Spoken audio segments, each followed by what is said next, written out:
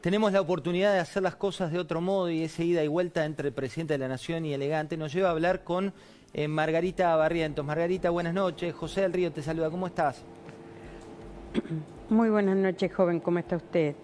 Bueno, Margarita, hablemos un poco de, vos y de tu trabajo por estos días. Eh, ¿Cuán difícil está llevar adelante tu causa que llevas hace tantos años con un 40% de pobreza que vive hoy nuestro país? Bueno, es muy difícil, ¿no? Este, viendo estos números es como que te da mucha tristeza y sobre todas las cosas saber que, que no tenemos mejora, ¿no? Esto, esto es preocupante. Nosotros a raíz de todo esto lo que ha pasado y viene pasando, los números lo, lo, creo que lo hacemos todos los días con la cantidad de gente que tenemos, con los comedores que cerramos porque no lo pudimos mantener y todo, todo eso y este, los números ya lo, tenemos en la cabeza porque somos nosotros quienes salimos a poner la cara todo, todos los días, cuando la comida no alcanza, cuando este, no tenés para darle al otro día, cuando no tenés para comprar la carne y todo eso. Margarita, cerrar dos comedores, que fue lo que tuviste que, que atravesar este año, ¿qué implica para vos? No, me trajo mucha mucha tristeza porque he dejado mucha familia sin comida y sobre todas las cosas, a veces nosotros los papás soportamos mucho y lo que nos duele es que nuestros hijos no tengan un desayuno, que no tengan un almuerzo, este, encima no hay una, eh, no están abiertas todos los días las escuelas donde los chicos al menos tienen una merienda, un almuerzo, eh, es, es muy difícil, ¿no? El año pasado y el anteaño vos eh, manifestaste varias cuestiones.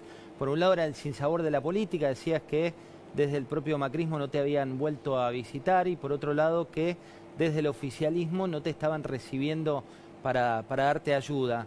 ¿Qué pasó después? ¿Hubo algún cambio después de tus declaraciones eh, públicas, tanto de una como de otra parte? Sí, gracias a Dios hemos tenido una respuesta inmediata del ministro de Desarrollo Social, Zabalete, la cual nos recibió y, creo que ya entre el martes y miércoles estamos recibiendo los alimentos para Santiago, vamos a ver, este, ojalá que así sea, ¿no? que, es lo que nosotros necesitamos para que... Eh, para el comedor y para la gente que vive en los parajes, ¿no? que es lo que no pueden acercarse al comedor por la distancia, ¿no? Porque no hay medio de transporte, el único medio de transporte que tienen esa gente son las motos o bicicletas, ¿no?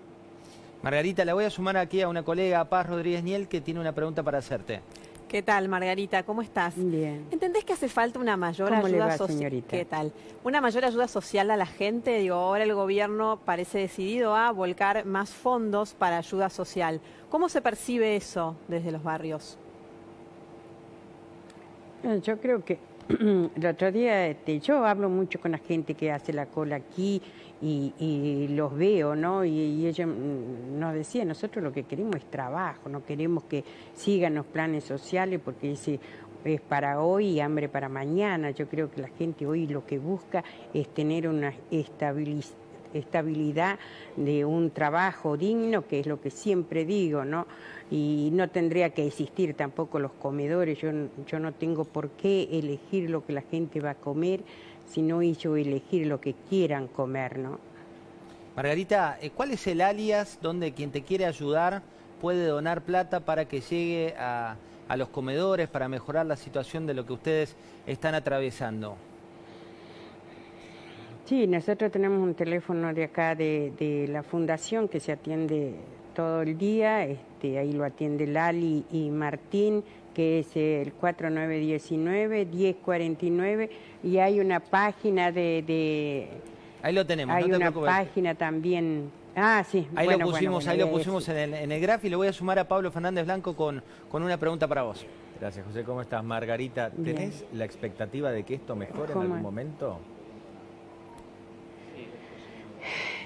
Bueno, como dije una vez, yo creo que la esperanza nunca, nunca se pierde, ¿no? Yo tengo la esperanza que algún momento tenemos que salir adelante y orgullosa me sentiría el día que la gente no esté haciendo cola a las siete y media de la mañana para retirar el desayuno, ni haciendo a las 10 de la mañana la cola para retirar el almuerzo. Yo creo que mi esperanza está puesta siempre en que vamos a salir en algún momento adelante y ojalá que no sea muy lejano, ¿no? Margarita, te mando un beso grande, ojalá que podamos colaborar para que te llegue mucha ayuda con ese alias que la gente está leyendo y que la cosa mejore y en un tiempo cuando nos reencontremos nos cuentes que las cosas están mejor. Así que beso grande y gracias por esta comunicación. No, muchísimas gracias a ustedes, muy agradecida a todos los periodistas por esta ayuda enorme que nos dan.